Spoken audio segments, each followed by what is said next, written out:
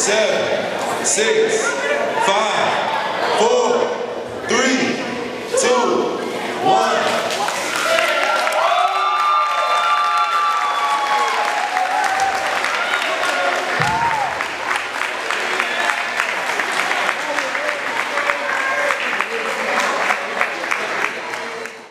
Well, after being here and working with the engineering teams and the surveyors and uh, making sure that everything was in fact beaded here myself, we got here very early.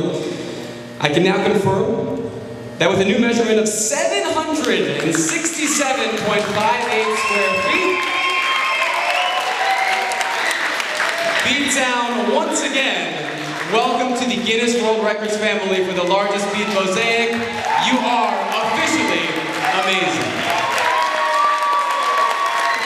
records, and I've seen a lot, and I've met a lot of people, a lot of different record breakers, but nothing quite compares to this record in particular. And yes, give yourselves a round of applause for that because you deserve it.